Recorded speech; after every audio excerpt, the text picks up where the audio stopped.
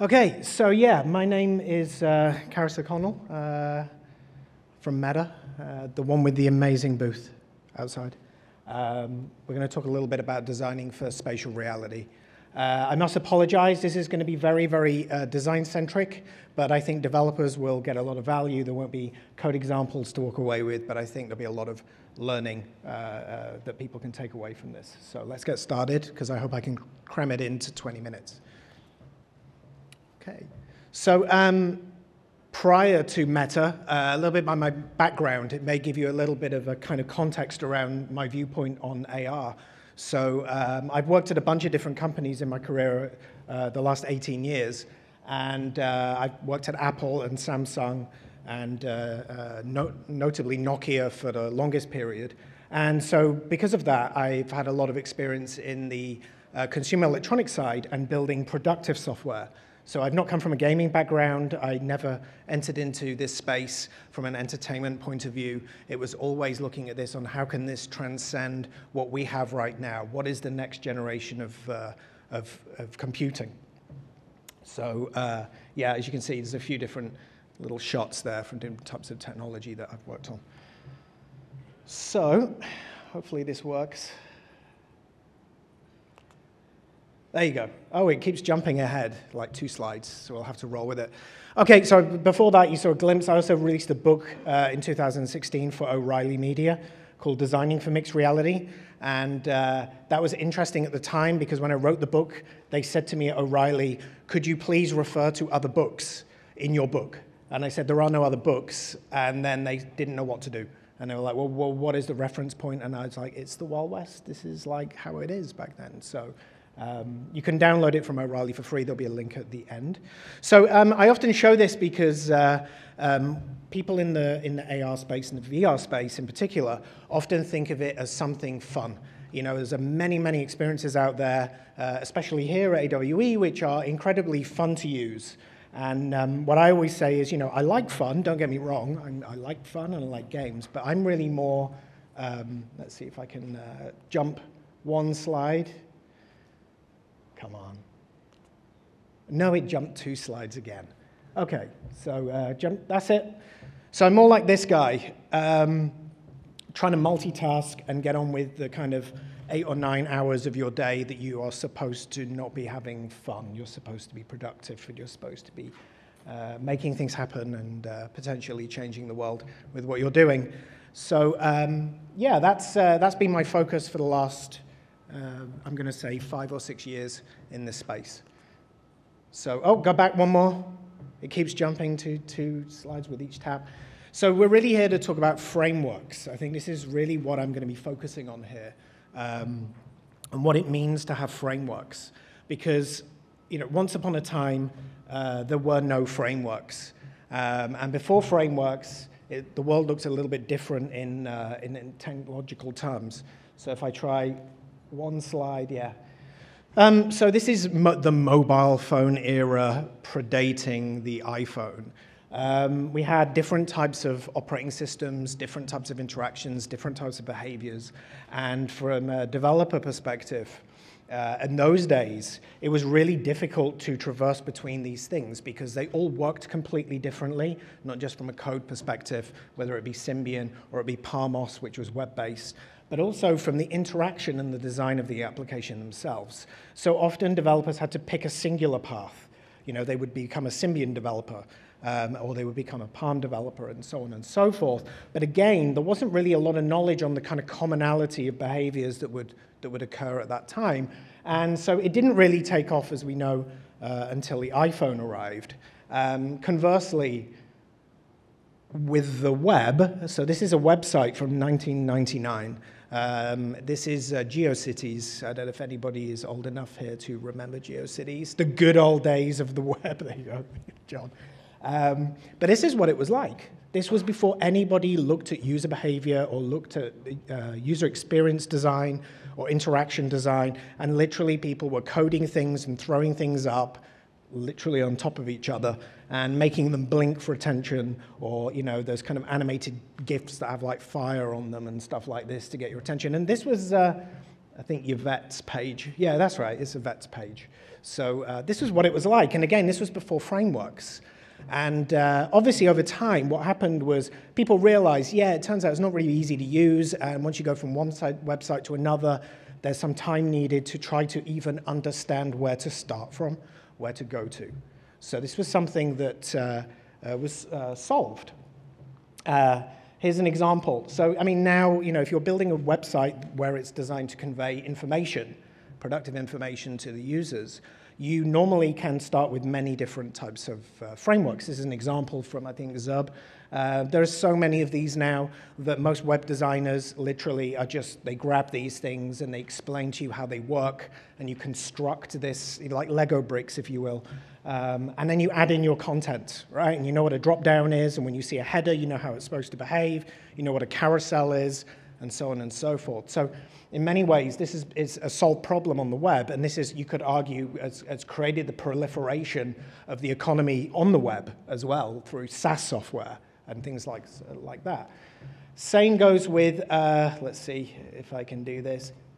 Quick tap. Yes, uh, with iOS. So, I mean, again, if you're, if you're doing mobile development now, you uh, download Xcode um, and you can use Interface Builder, and they have draggable elements called menu bars, and they have elements called canvases and navigation elements. And what it means is that if, you're, if the job of your application is to convey information, it's not for entertainment purposes, there's no point in trying to rewrite the rules on interaction and behaviors because a lot of study has gone into this over the years to work out what is the easiest way to get this information across. And of course, it's exactly the same with Android as well.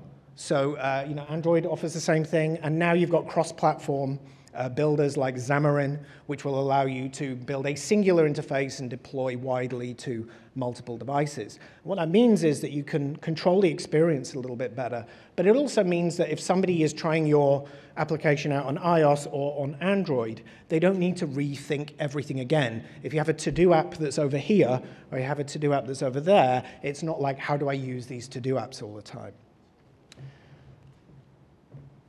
So when you go into our area of technology, what you'll see, and what you see a lot of, is a lot of kind of carryover from what we've had and what we have right now.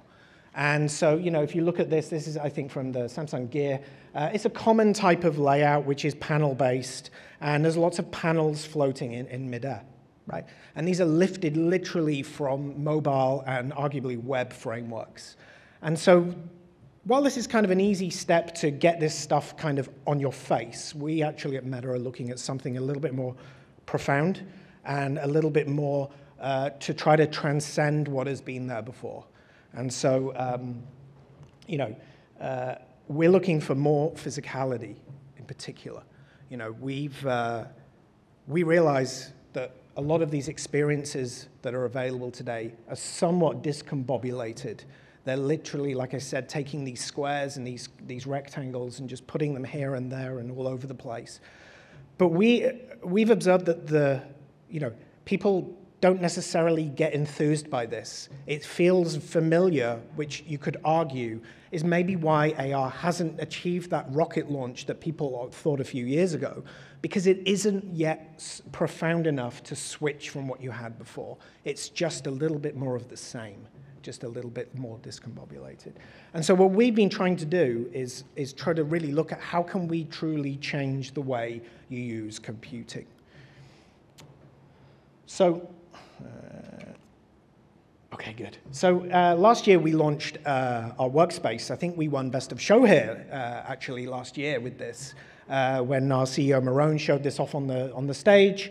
And uh, we launched this, and people were using this and feeding back what they thought about this and what they thought about us. And we were very open to lots of incoming remarks and feedback and criticism. You know, we were, we, this was the first time we'd put something out there. And uh, the workspace was a kind of our starting block for what we were we going to do next. So when we think about the physicality, and we take that into consideration, we had to look at this and say, what is this really informing the user? You know, or what kind of uh, physics systems are we going to use in AR that makes it more than just things floating in space, right? So um, we spent an incredible amount of time talking with developers and our third-party community, and also with you know our own internal teams of neuroscience and design.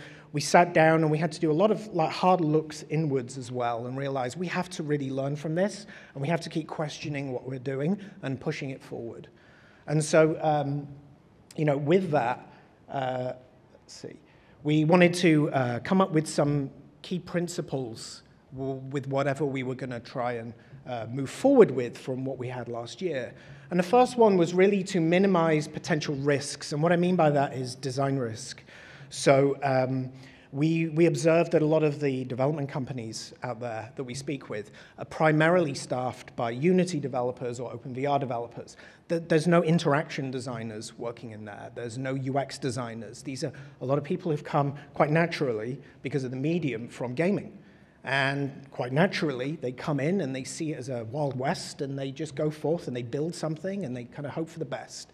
And so we wanted to come up with something that maybe would help ground them and give them a chance to have some starting blocks. So, you know, the, the next thing was uh, uh, creating commonalities. So we, we, we sat down and we went through uh, brainstorming, you know, in the very classic fashion of whiteboards and multiple whiteboards and many different types of sketches on what can we do here, what should we try to uh, put down as, a, as, a, as an approach that may be useful for developers. Um, and so we started looking at this and looking at how could we make common interactions and common behaviors so that developers don't have to write everything from scratch. So when they do want to do something as simple as I need to open a file, everybody doesn't have to go away and invent their own opening a file system before when that's not really what they're doing with their application, what they're doing with experience. They should be concentrating on that part, you know, in exactly the same way as an interface builder would do for a developer on iOS. It's like you own the things that go into it and you decide how you want to use this. But fundamentally, you know, we just wanted to offer this uh, uh, opportunity. So we started to come together with, uh, which you'll see in the, the, our, our booth um, uh, over in the, uh, in the expo, uh, we started to come with these common types of uh, components. And uh, we sat down and we looked at, well, what's the common situation that our user base is using the Meta device? And of course, it's a tethered headset. There's nothing secret about that. So we're not going to be walking across the stage. We're not going to be going over here or going over there. We're relatively going to be seated in a certain area, whether it be at a desk or standing at a standing desk, right? So we wanted to think about, well, how does AR translate to the stationary experience? Does it suddenly have no value, or do you have to always be moving around? And so a lot of this came from how do we enforce the concept of the surface? And so we came up with some of these ideas from this, where we have uh, what we call uh, uh, the plate, and we have pads, and we have pods. Sorry, everything starts with a P, but that was just coincident. But we started to try to chop up the environment and delegate what space means. And so uh, through multiple iterations, um, we got to what, you'll see right now uh, with the MetaViewer and uh, also with um, with the Mapbox application that we have over there, and we work with a lot of other third-party partners. So, okay, reduce development effort. So, I mean, another big key part of this was that uh, it's no good just telling people what to do. It's no good us just going, well, you should probably do this, we should probably do that because we know that time is money for a lot of the developers here. We know there's not a huge amount of uh, revenue stream yet in AR, so we're trying to minimize that uh, development effort as much as we can contribute to. We're trying to allow people to have some building blocks, so again, they don't need to worry so much about that. They just can concentrate on the experiences that they want to build on top of that. Okay. Oh. So you know, this is your typical kind of open unity, uh, and this is what you see. And this is obviously, you know, in metaphorically, this is kind of how it was has been working even for our own developers. You know, you would download the SDK from us, and it would it would have all the components needed to get it working on our system with the SLAM and the hands and everything else.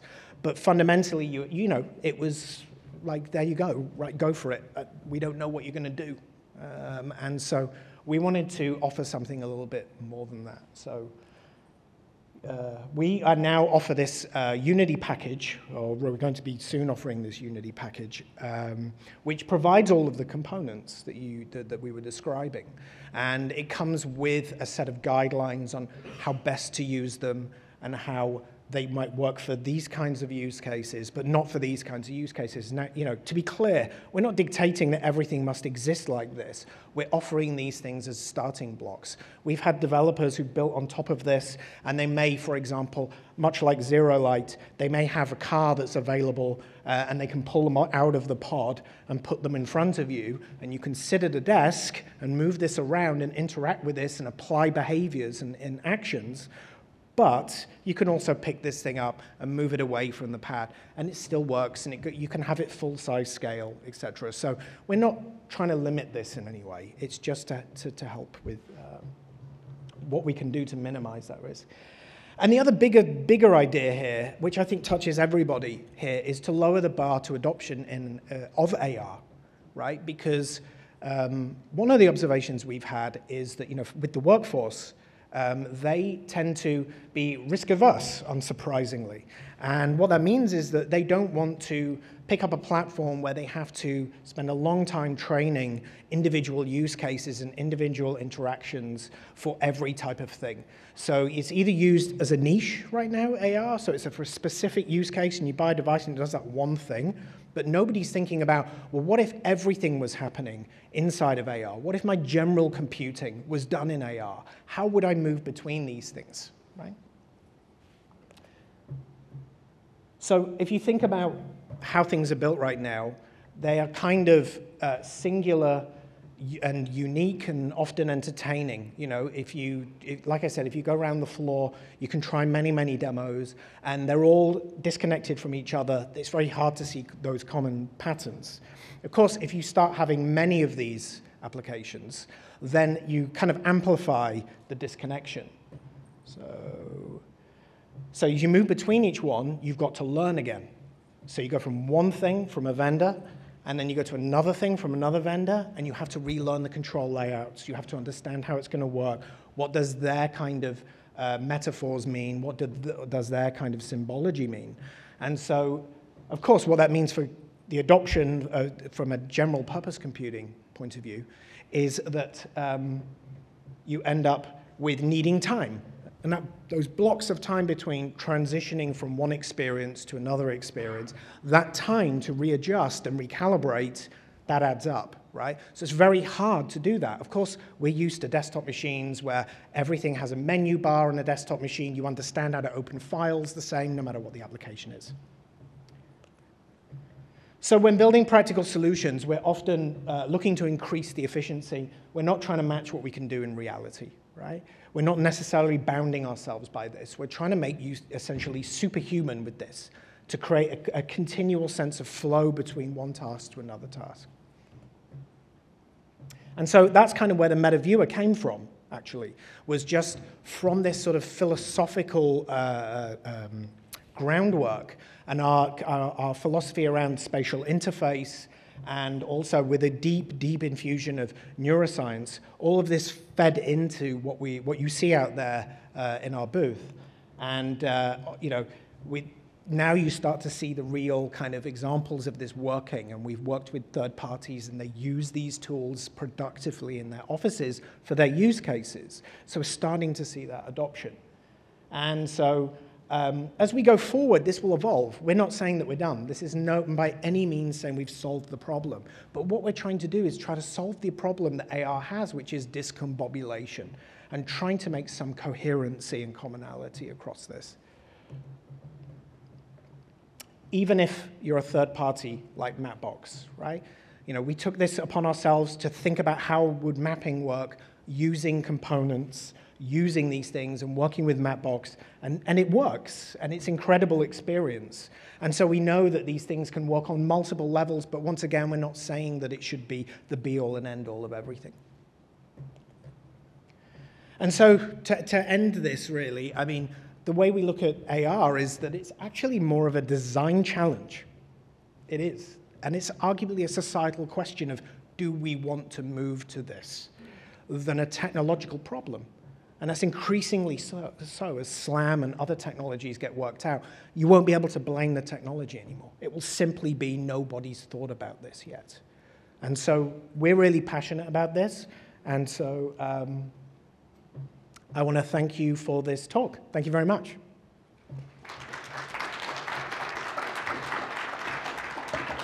It's lunch. You can get a lunch now.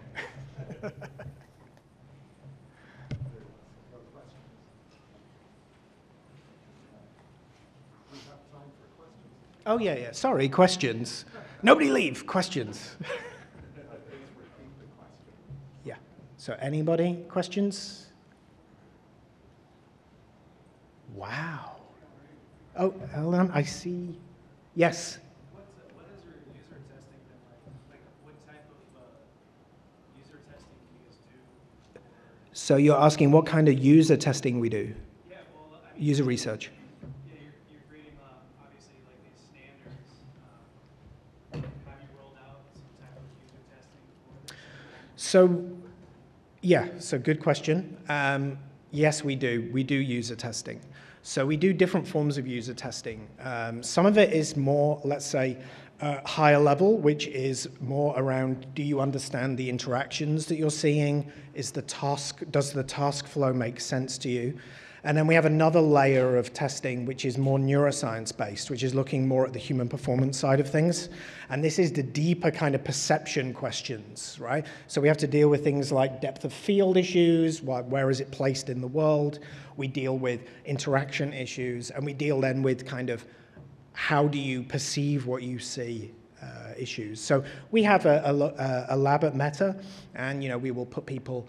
Uh, well, sorry, that's the wrong word. Put, not put people, but people will be in rooms, and we will observe their behaviours. So we have a, a very, a very good uh, approach to this. And of course, you know, this is not by any means um, uh, a finished process. We are continuously, continuously learning and ready to uh, rethink things where needed uh, the whole time. So anybody else? Yes, sir. I have a Meta 2. Our company does. Um, the visuals and stuff are absolutely incredible. Um, but one of my biggest challenges with is the user experience. The tracking really kills it for me. Um, and so, how much of a focus? It's kind of a horse before the cart kind of thing. Um, on getting that tracking down, so I can enjoy the user experience.